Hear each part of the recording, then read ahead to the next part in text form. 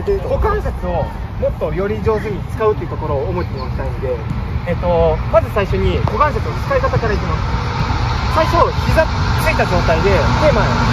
でそこから股関節だけ引いてって上に上がる。でこれがヒップヒンジっていうんだけど股関節のところに力を吸収させてこの力を発揮させるっていうところ。でポイントとしてはしっかりお尻後ろに引いてくる。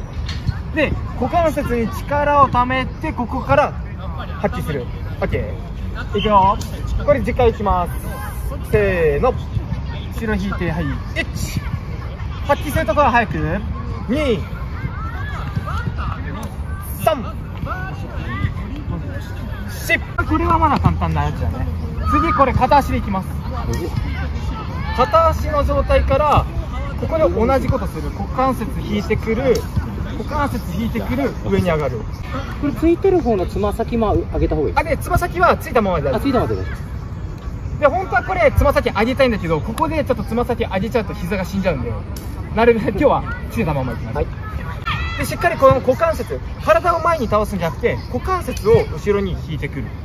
ってところです。はいじゃあこれ片足いくよ。はい。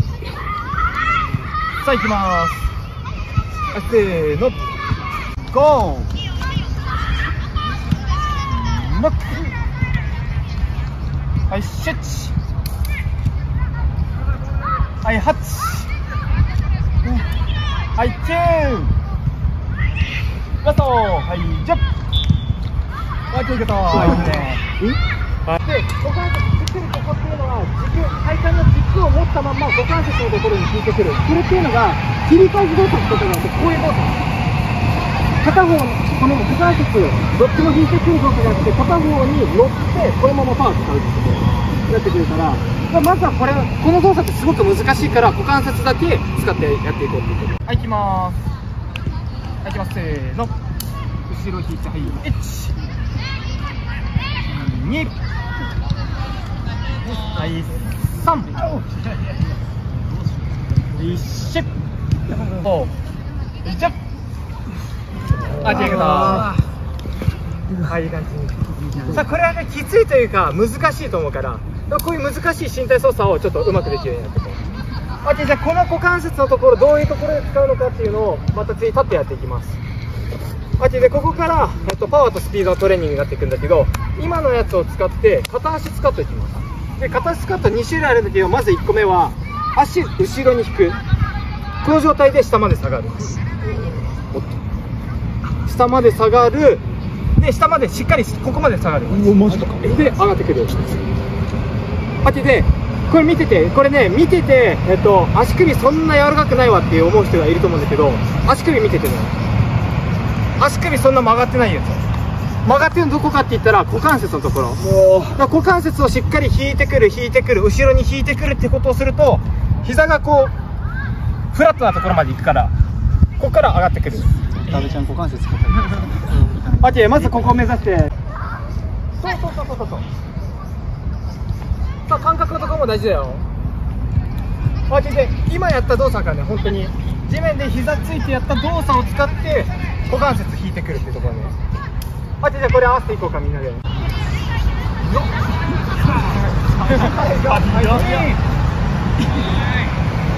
い、ストップはい、はい、ゴーあ、いいね。はい、ノックあ、すごい。そう、あれとか、あれはしっかり股関節が曲がってる証拠。オッケー。はい、いいよ。合わせていこう。いきます。はい、せーの。1。はい、2。はい、3。はい、はい、ゴー下からグッと上がるはい、ノック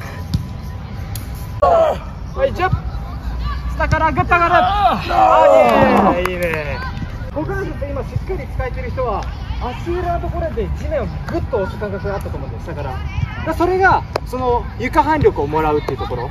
だその足速い人たちはこの床反力をうまく使ってるわけ。次は今足を後ろに引いてきたんだけど次前行くよ。前に行って上がってくる前に行ってダンサーダンサー上がってくるでこれ、えっと、使う筋肉が違ってくるから一回みんな試してみようか。おーいよ。こ前のところから下まで下がって。いやすごい先生。すげえ。上がるやばい。それできるできるできるでこれもしっかり股関節を使うってところだよ。股関節しっかり使って下まで下がる。でこれを見て見て足首足首深くない。おどっちゃんすごい。それ座る。上がる。そう。いいのこと。みんなできるみんなできる。いや大津さんもできてる。おい。俺できてんじゃ じゃあできる範囲でみんな合わせていこうか。はいせーの。はい。1できる範囲でいいよ。はい2はい3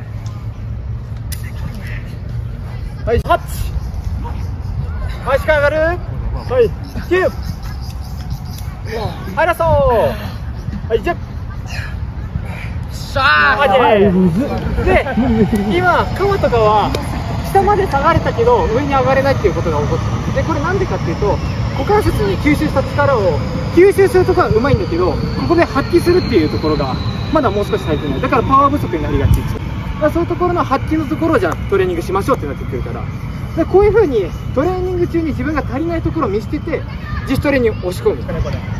これの練習ってこれしかない。これをもう家でやり続ける。あでも家でやり続けるっていうこととあとはその股関節さっきのこれもキックっていう状態それできるようになるとこれももっと降りるようになります降りるようになります股関節の応用そうしっかり股関節の関節を折りたためるかってとなってくるやりましょう OK